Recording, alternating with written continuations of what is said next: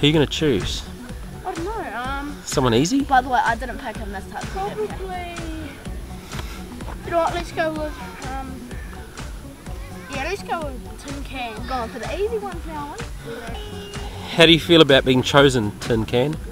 Tin Can the Karate Man. Wobbly.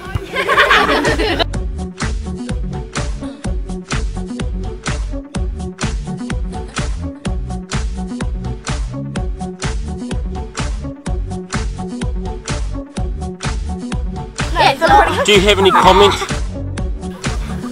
No comment. No, he doesn't.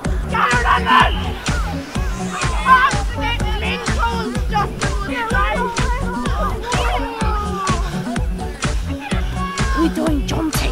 Why? Because he's only little and he's got paint down his legs. Look.